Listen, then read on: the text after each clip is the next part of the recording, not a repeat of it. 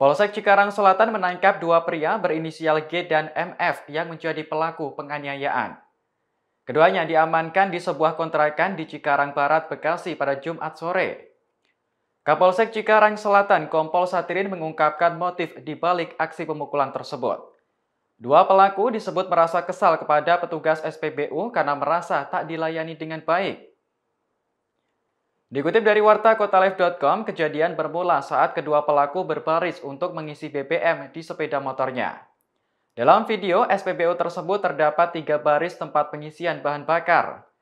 Kala itu hanya ada petugas berinisial AR yang berjaga, sehingga ia harus bergantian mendatangi pelanggan dari dispenser satu ke dispenser lain.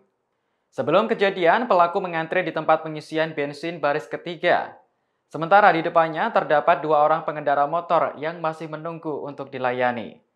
Ketika dua pelaku mendapatkan giliran untuk diisi, korban AR melayani pengendara mobil yang baru datang di baris pertama. Kemudian ada lagi mobil yang datang ke tempat pengisian di baris kedua.